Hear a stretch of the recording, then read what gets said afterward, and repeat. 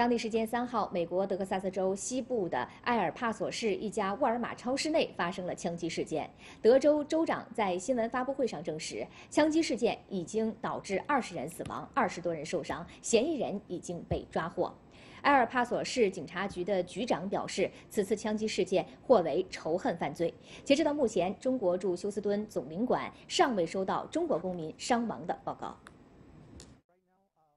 埃尔帕索市警方发言人三号在新闻发布会上说，枪击事件当天上午发生在一个大型购物中心的沃尔玛超市内。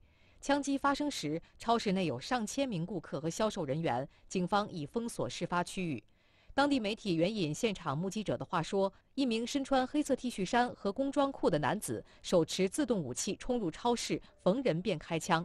警方在现场抓获了一名白人男性嫌疑人，名叫帕特里克·伍德·克鲁修斯，家住达拉斯附近，现年二十一岁。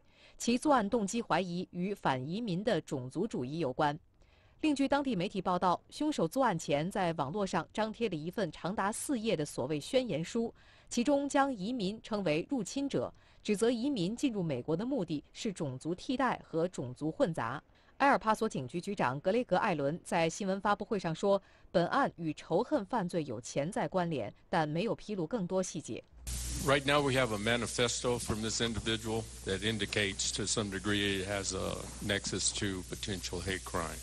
目前，嫌疑人已被逮捕，其身份已确认。联邦执法人员正在对嫌疑人的作案动机进行调查。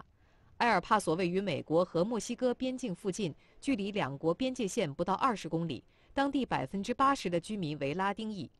枪击事件发生后，美国总统特朗普对枪击事件予以谴责，并表示联邦政府将为德克萨斯州和埃尔帕索市提供全力支持。